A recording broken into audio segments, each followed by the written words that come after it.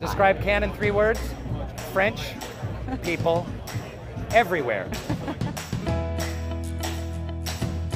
Three words to describe Cannes sun, Revenue is clearly the most important piece here. innovative, Well, it's very mind expanding.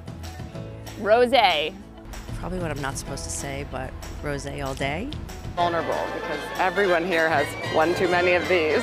Fun because everyone likes to have fun and you can you close a lot of deals having fun and Cannes. Executive because uh, Cannes brings together a very high level audience, some in which this is the only time of year that you get to meet with them.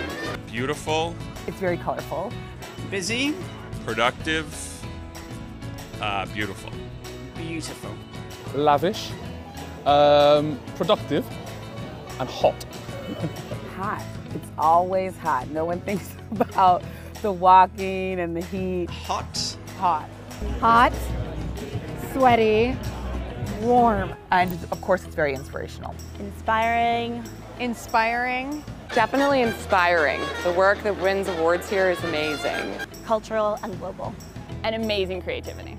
You do really feel just the energy of being here. Um, and as a professional, as a creative, it's, it's a really nice way for you to get the inputs you need to fuel you for the rest of the year.